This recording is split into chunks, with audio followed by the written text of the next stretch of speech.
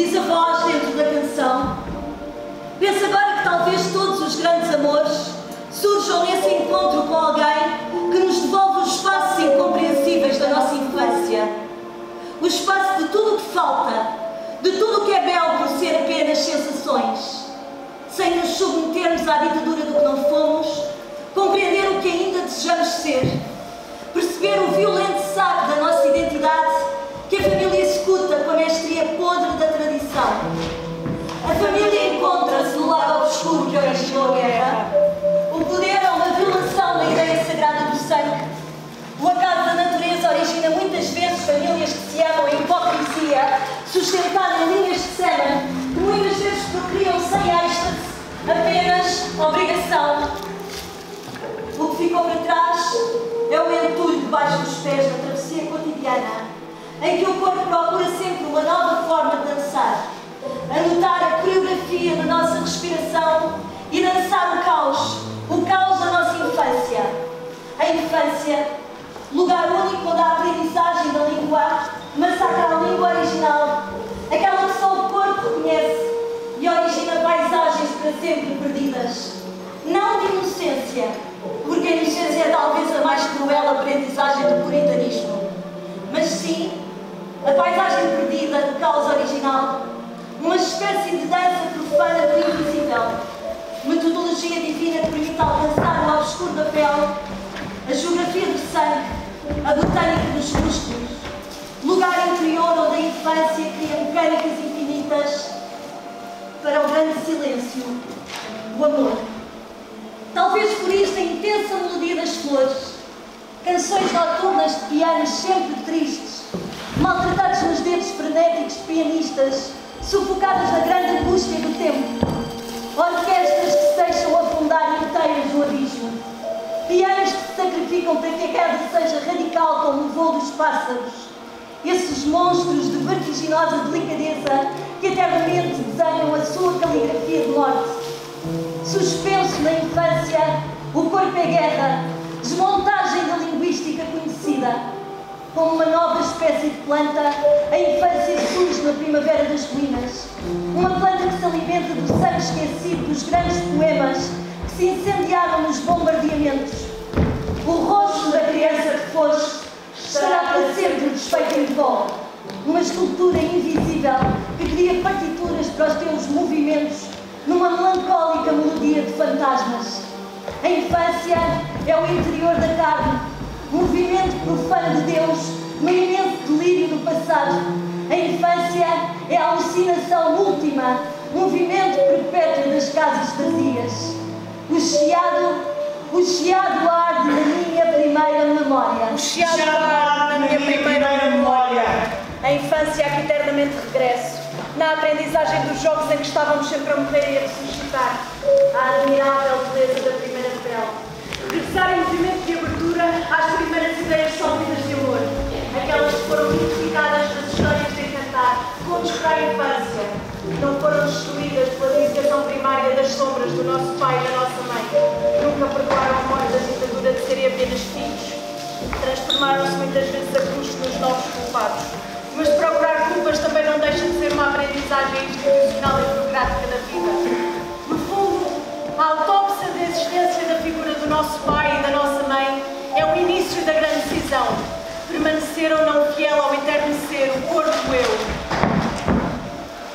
A primavera apodreceu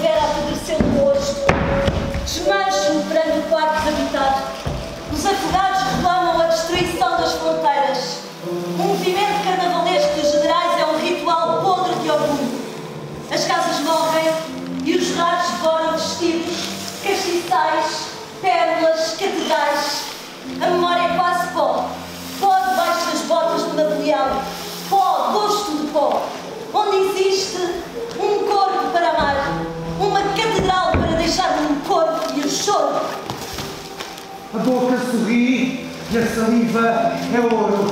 Os meus sonhos são feitos de água, pedras, para dar nos bolsos músicas que se escutam no vazio. Os braços esperam o vento e a saliva, enquanto ao fundo do quadro, um corpo enigmático se veste de azul.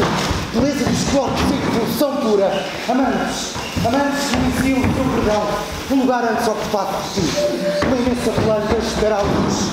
A queda de um anjo atravessa e toco a memória da casa da minha infância.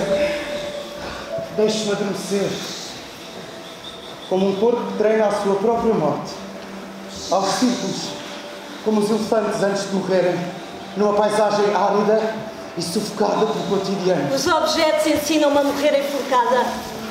Observe o lugar que já não ocupas. A tua ausência é uma luz no alcatrão, luz no asfalto de uma antiga cidade bombardeada, fantasmas.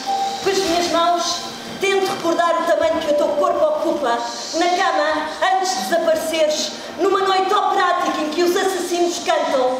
Derrubo memórias. Ataco o resto do teu suor na cama. Corpos que recomeçam, corpos que deambulam, corpos que destroem objetos numa geometria criminosa. Com as mãos perto do rosto, o cheiro do amor infeliz. Oprimo o meu corpo com as cadeiras miseráveis de antigos jantares insuportáveis. Crio uma barreira de cadeiras exaltadas, enquanto um fantasma cria um balé de morte. Mordo o meu pulso, sou carnívoro, amo as plantas mais impuras do paraíso. Ataco, ataco para conseguir tudo isso e tudo. Lembras-te do jogo das cadeiras? O ódio que sentias quando perdias? Em criança fui um monstro insuportável, uma imperatriz obcecada com os cabelos. Todas aquelas miúdas que mordiam os cabelos até ficarem encharcados de baba. A baba sempre me pareceu uma mística que só os loucos conhecem. Procuro insistentemente o meu lugar. Não me lembro da última vez que lancei no slow. Já não há janelas para cometer suicídios. Todas as florestas tropicais transformaram-se em desertos. O meu corpo é um deserto. O meu cotidiano sufoca a minha voz. Aos 7 anos ganhei uma opção de colchões. Aos 27 anos aprendi de cor o discurso da morte. Não matei por ódio ao meu pai, cão selvagem medíocre, como os discursos de um ditador consciente da derrota. Os meus cabelos são a minha monstruosidade. Respiro devagar, perto do colchão onde me abandonaste. Qual é o cheiro de uma casa incendiada? Os loucos comem cinzas. Dizem que é uma forma de amar os mortos. Que deveria ter aprendido com os loucos a encher a boca de cinzas e guardar o que restou da minha infância dentro do meu corpo. Misturar as cinzas com o meu sangue e inventar memórias. Ontem, ontem imaginei-me em tempo. Um homem também adormece na cadeira, perto do colchão onde colocar o meu corpo morto, antes de ser vestido e maquiado para a última festa. Admirável fim do corpo, e no espasmo do corpo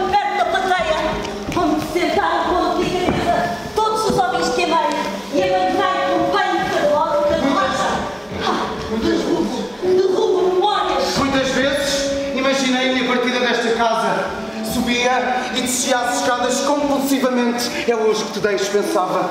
O nosso amor morreu no início do verão. Abandonei o teu corpo. Disse poucas palavras. Hoje vive esquecida na casa em que quase fomos felizes. Hoje adormeço como se o meu corpo fosse a imagem de Cristo tirado da cruz. Eu não espero a ressurreição. Eu não sinto culpas por te ter deixado. Preferimos terminar uma história de amor com a mesma violência como dissemos antes pela primeira vez. Eu era criança, jogava aos enterros. Uma vassoura a fazer de morto e fechava os olhos. Com força, até chorar.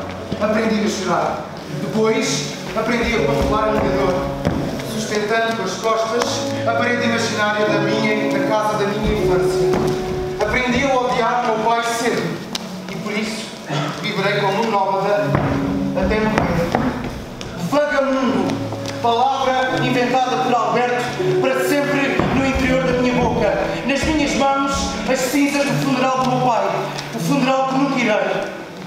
Cinzas.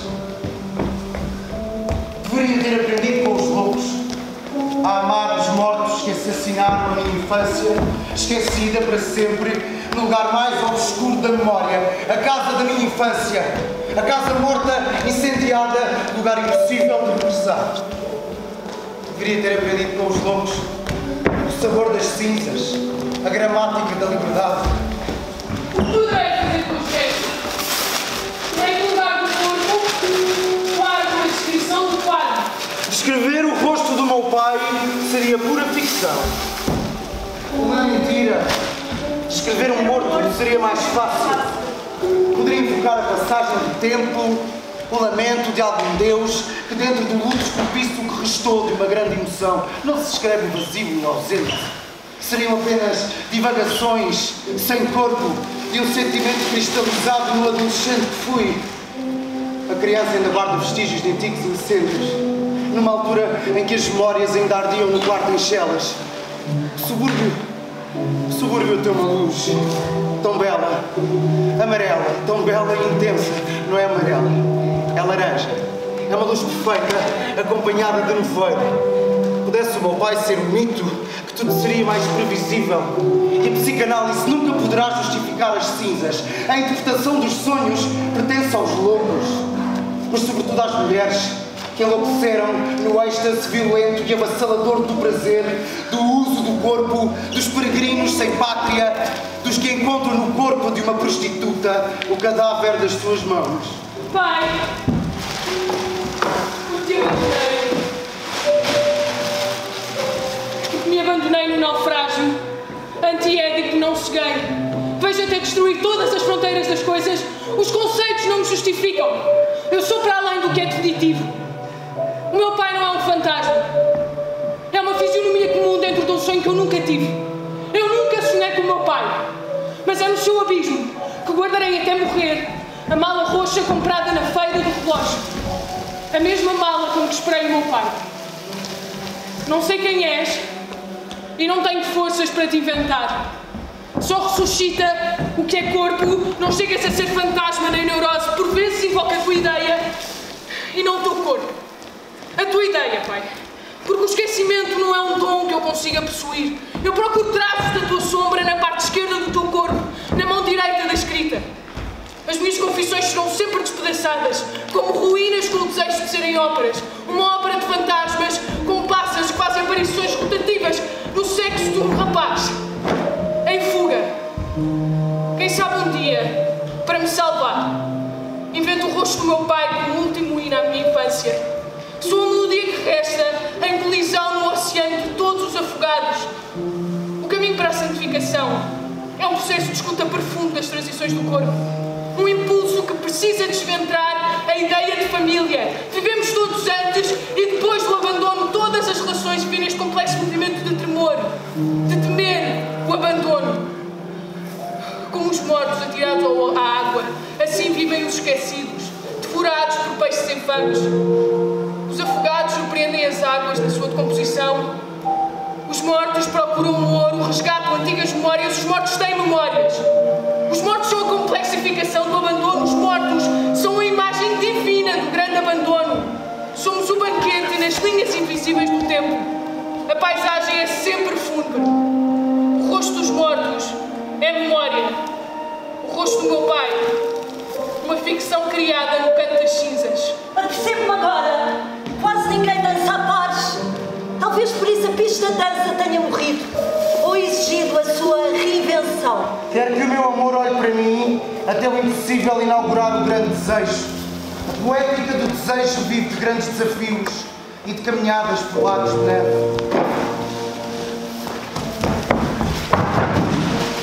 A neve sempre me comoveu porque complexifica a imagem de uma linha de sangue. Sem sangue não haveria famílias, sem famílias não haveria guerras. O poder é o uso indigno do sangue. A loucura é a escrita do sangue. O mesmo sangue que ocupa os ossos, a pele, as mãos, a escrita. O poder não é uma profanação, é um desperdício que os fracos utilizam para sufocar os corpos. Os corpos que verdadeiramente transportam em si o poder aquele que começa no prazer, que ama a diferença, que alimenta uma opção permanente pela liberdade. O meu corpo escrita surge na leitura ativa da passagem do tempo. O milagre de conseguir permanecer no país da insônia que quase me devora o corpo.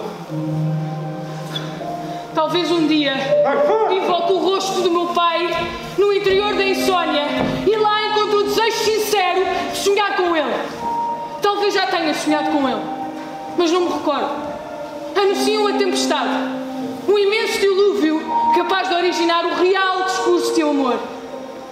Falo por lapsos, em bebedeiras imaginárias, no discurso ativo do sobressalto da imensidão das ruínas. Nunca temi as feridas. Espero sempre que elas sangrem. Queria escrever-te num lugar onde as mãos surgissem no interior da insônia, como vozes misturadas no onde lobos correm ao encontro dos gestos milimétricos da grande raiva, onde um rosto se apresenta, encontramos a biografia dos corpos que deram um grande salto, uma festa que acaba sempre por morrer, como um ambicioso anjo que morreu no excesso de luz. Corpos abandonados que dançam dialetos bailarinos desconhecidos. Nas profecias eletrónicas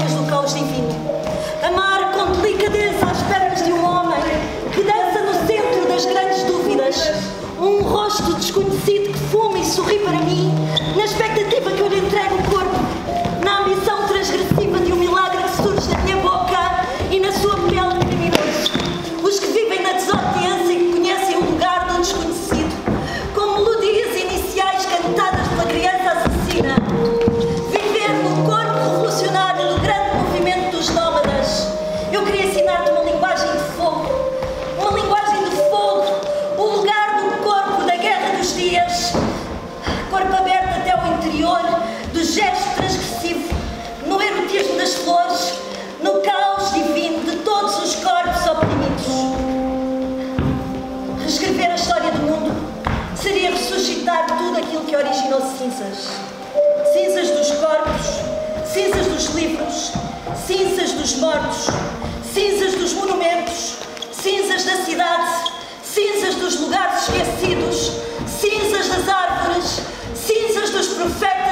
As cinzas guardam o amargurado tempo e a sílaba que originou o atrito que é o corpo esplêndido de Deus.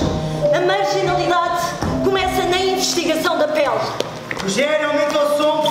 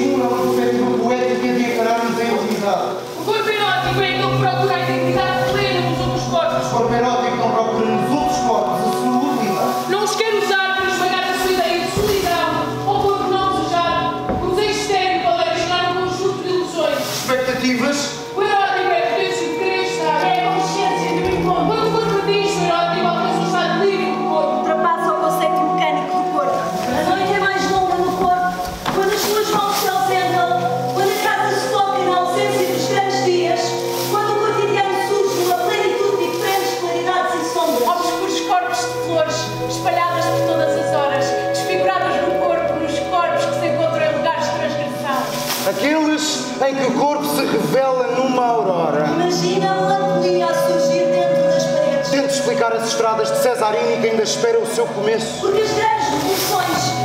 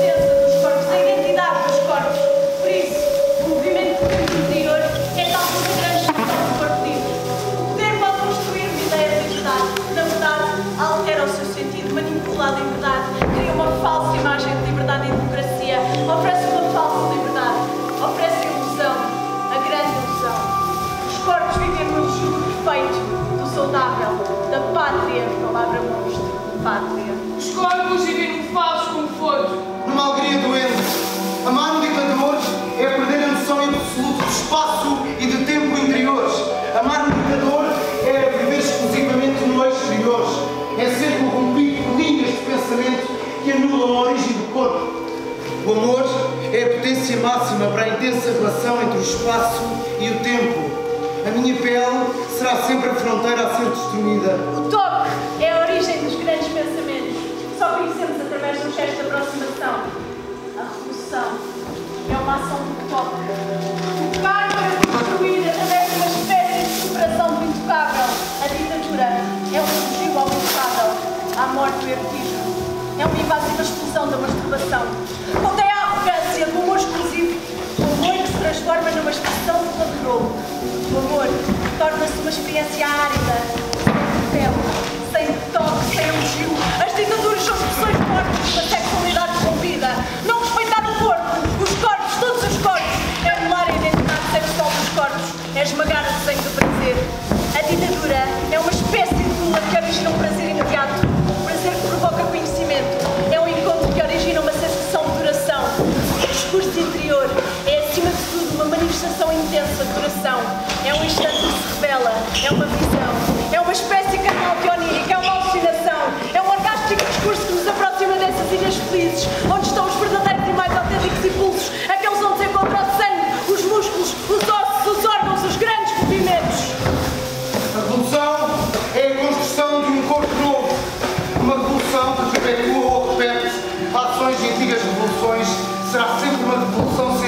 novidade.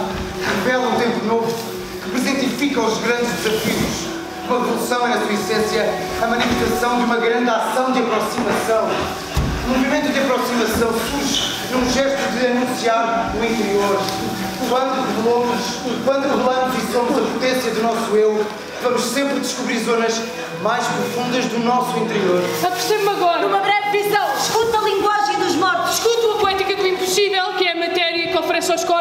Espaço de melancolia por vezes injustificada. Aquela sensação próxima de um deserto enigmático e imenso. sensação quente que invoca dilúvios serenos. Uma espécie de espelho de respiração interpretada, como que imóvel numa aceleração interior. Aproxima-se da oração. Do silêncio.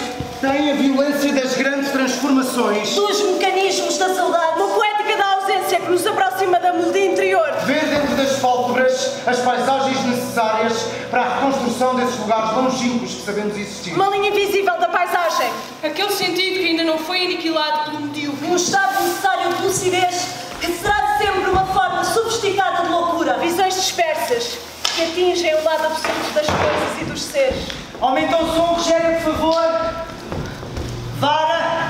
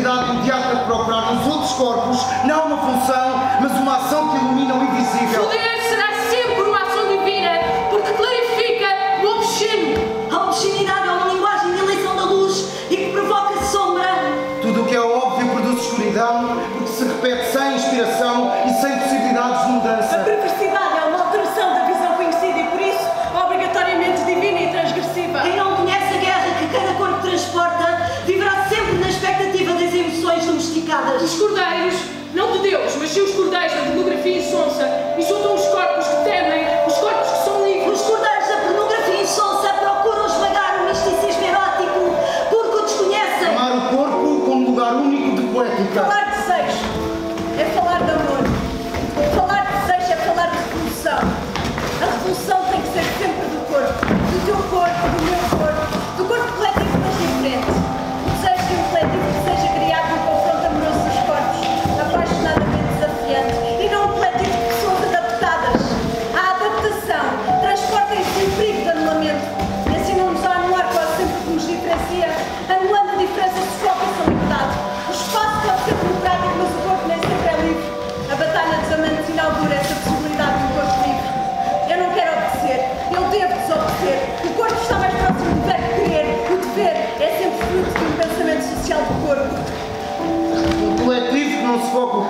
que não se foque as relações humanas. Um coletivo que permita o desvio. A alucinação da linguagem. A loucura também é uma possibilidade de existência. O milagre dos que possuem inteligência poética. A loucura é a consciência do desejo sem contaminações bem intencionadas de corpos. Poder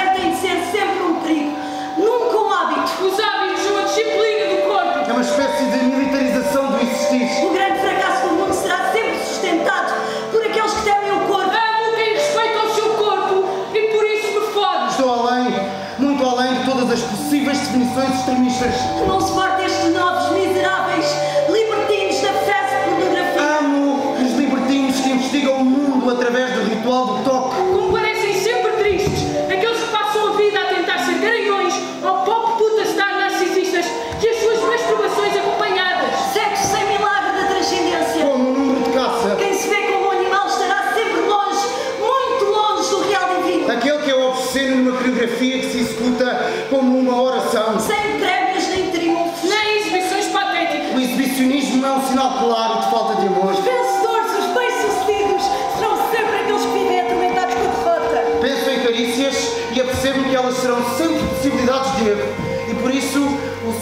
origem e o prazer que originam.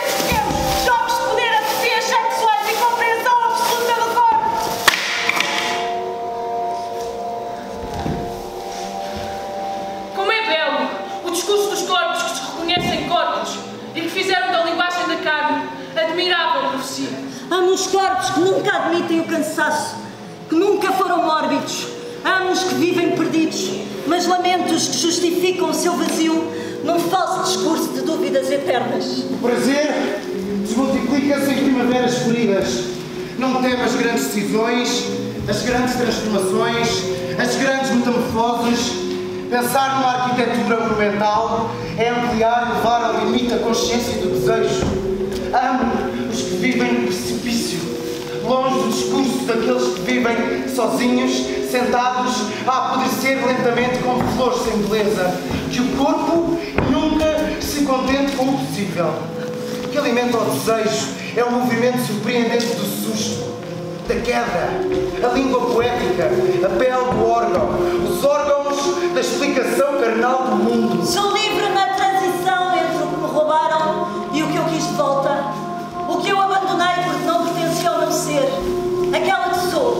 entre a educação e a libertação.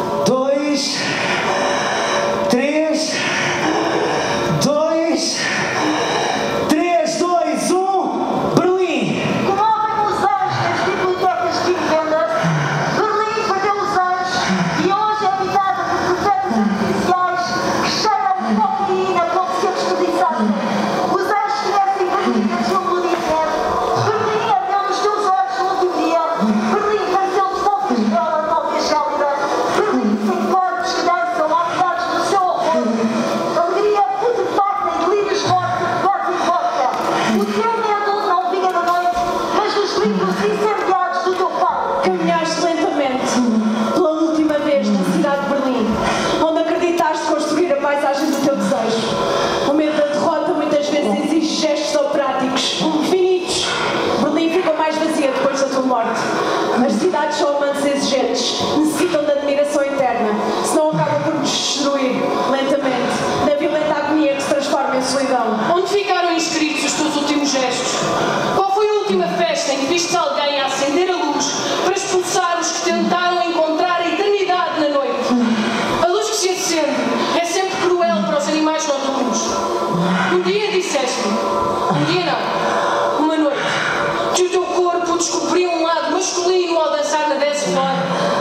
시즌 버티고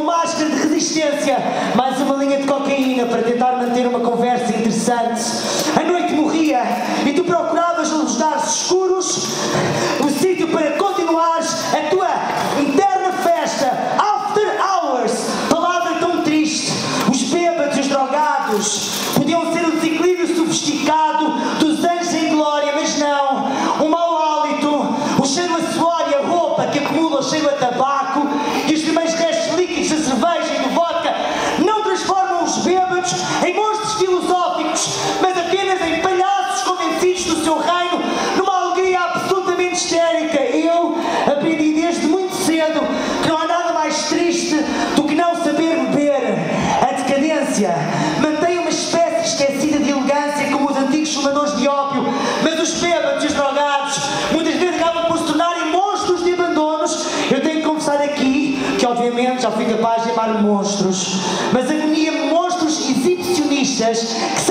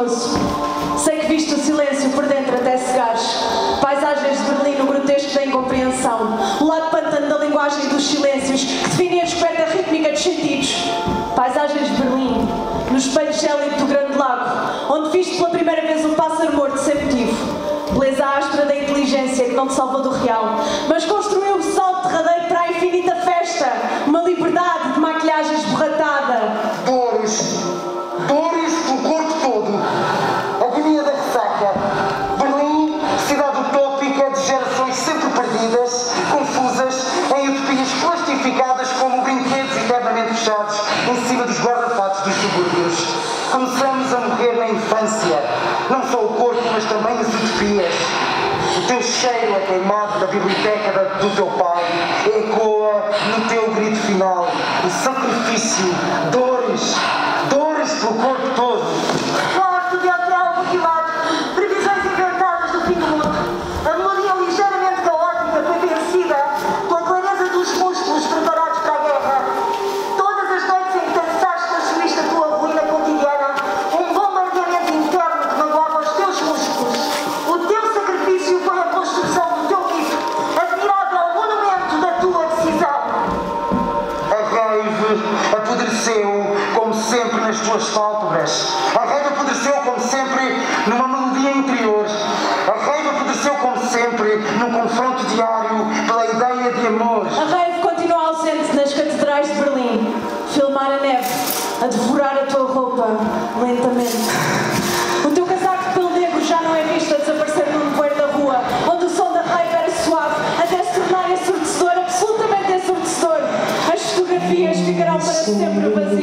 high.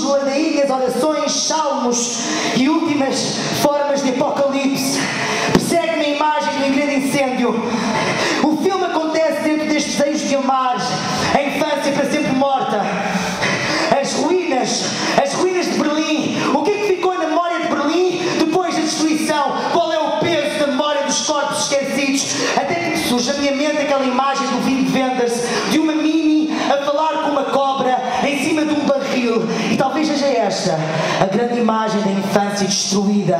Sim, a destruição de Berlim para sempre contida nos gestos, nos eternos gestos do amor. A minha liberdade, precipício absoluto, Berlim.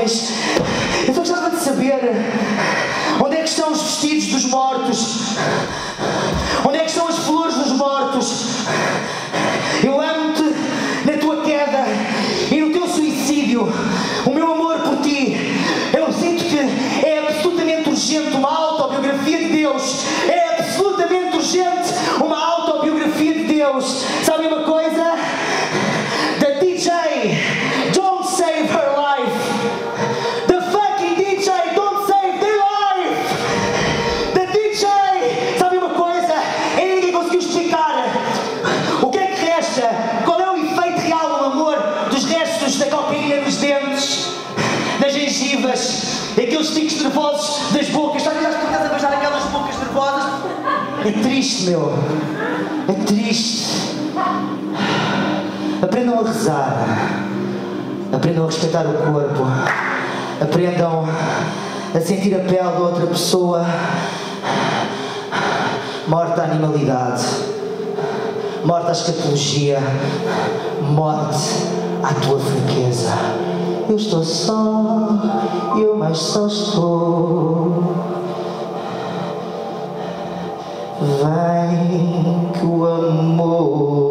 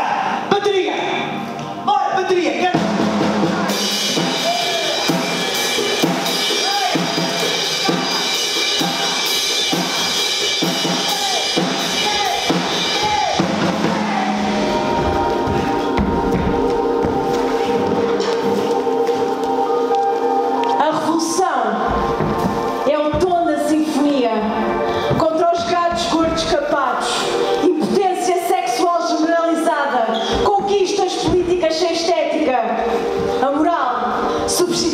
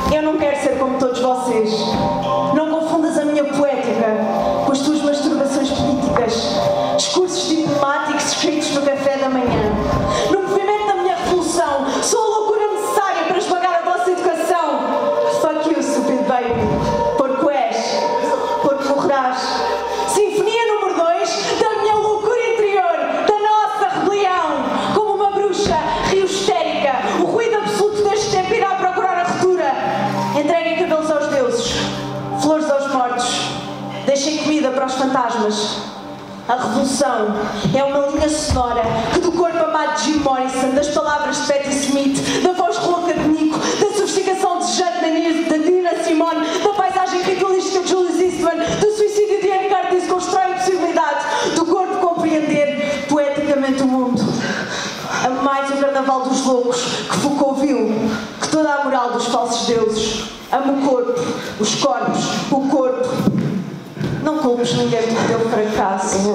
Porco és, porco morrerás. Eu não sou como tu. Eu não quero ser como tu. Eu não sou como tu. For all tomorrow's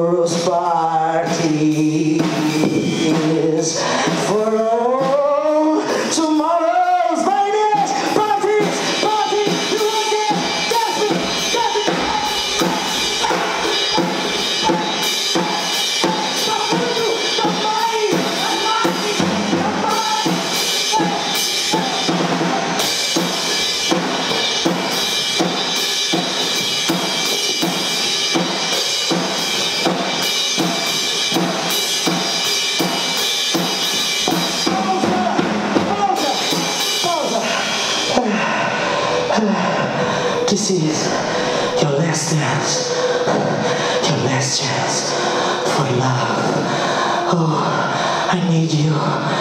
But me beside me to find. Fucking me. A beleza dói. A beleza dói. Tem que doer, pá. Sacrifício pelo corpo todo. Aproximem-se, por favor. Dores pelo corpo todo. Santa Bárbara condenada à morte pelo Pai. Bárbara com as suas espadas. A espada que vai estar sempre na minha mão para te matar a ti, dragão miserável.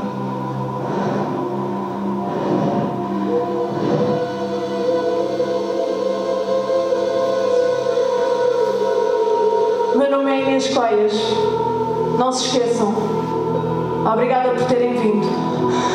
Santiago, Rita aqui.